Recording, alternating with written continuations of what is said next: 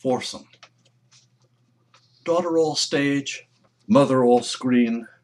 They sit in a bright foursome one Saturday night in San Antonio in a Riverwalk cafe at an outdoor table.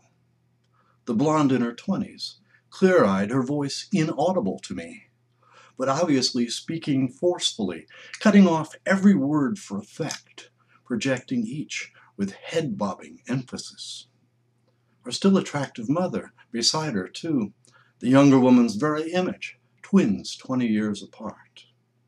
The elder one, smartly bespectacled, her mature noddings less oversized. The young one plays to imagine galleries, though, with exaggerated body language, telegraphs every affect to the last balcony. In her personal melodrama, doing extreme surprise, her eyes suddenly huge, or playing larger than life amusement, her head pumping vehement approval, eyelids fluttering, then her golden hair thrown back abandonedly, full throated laughter tossed into the night like Greek crockery shattering festively.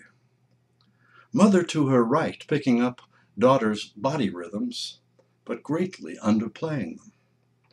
All a bald man, who may be the woman's husband, the girl's father, blandly tells a story, fingers measuring invisible fish.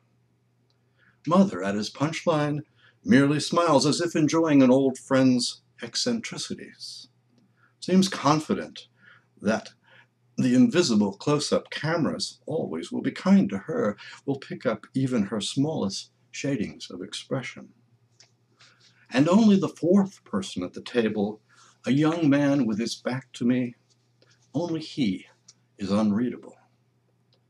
Apparently, the unshakable hand behind the spotlight, the calm center at the very eye of this family's theatrical storm.